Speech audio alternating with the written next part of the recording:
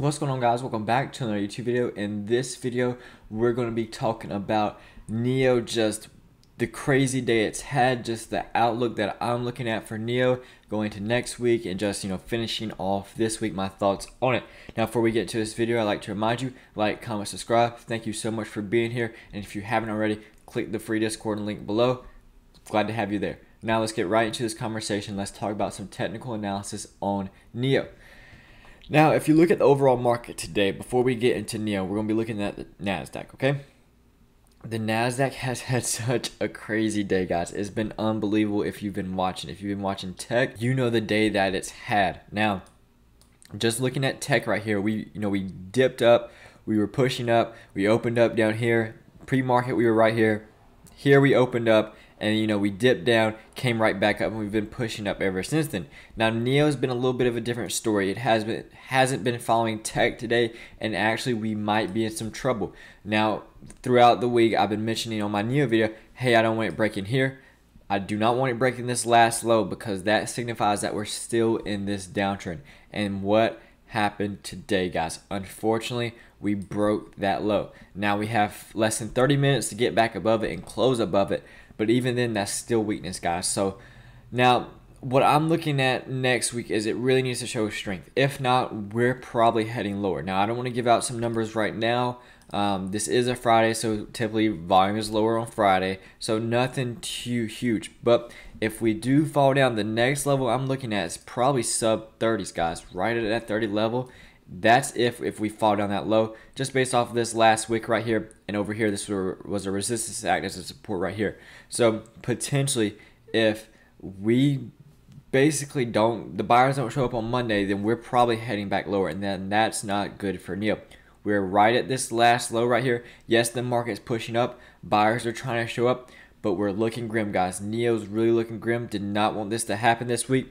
Now, I mentioned, uh, you know, in my earlier parts of the videos on NIO this week that if we get below this first uh, expected move, that's why I do it every week, guys. So here was the first one in between this range right here, in between 48 and 39, I think. Yeah, I mentioned if we get underneath that second, that first one, then we're going to hit a dash to that second one really fast. And unfortunately, that's what happened yesterday. And today we today we gapped down and we're right at that second one. The second one I do believe is right here at $35. So we're actually a little underneath it. But unfortunately, that's what happened today. That's why I draw the expected move for you guys because it gives you a gauge of you know where volatility is. Once we get underneath that first parameter right here, that's when volatility ramps up and then you see a quick dash to that second one. Unfortunately, NIO succumbed to that today.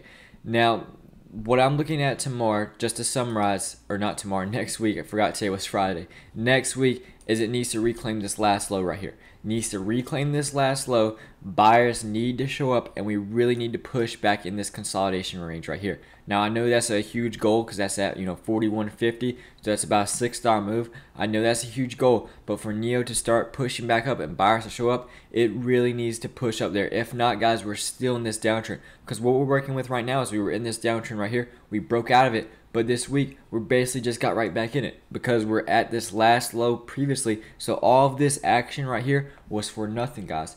All of it was for nothing because sellers showed up and they were unable to push price up. But if we're able to reclaim this area right here and get back above this area at 41, I think 50, yeah, 41.50, then it wasn't all for nothing and this was just a dip and then we reclaim it back up. But keep in mind that's going to be very difficult for us to do just based off of the amount of selling pressure we're facing right now. Now, if you look at the RSI, I don't use this to trade, but a lot of people like to view it. We're in the over we're in the oversold territory. We were here last time we had this dip, beginning of March. You know, we bounced heavy, and we're back at it again. We were unable to reclaim the top of this level. So we're back at this level that we were at previously based off the RSI. So does this mean next week that we're going to see that hard bounce and then push up and we're unable to, you know, get past these highs?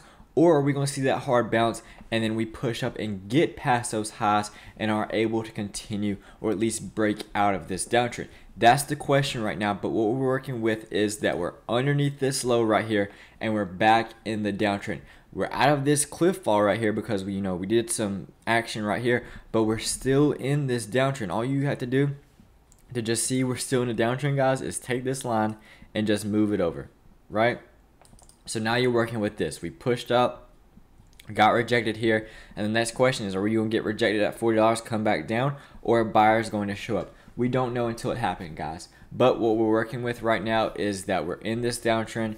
We got underneath that low, and it's not looking too good for NIO. So I wish I had better news today, guys. I wish Friday was better. But unfortunately, with regards to NIO, it, the seller showed up today. We're down 7%. that's what we're working with. Let me know in the comments below. Do you still have faith in NIO? Are you still holding NIO? And what's your outlook on NIO? Really excited to see what you guys think about NIO, and especially with this price price action that's been happening. Either way, thank you guys so much for being here. Appreciate all the support, and I'll see you guys in the next video.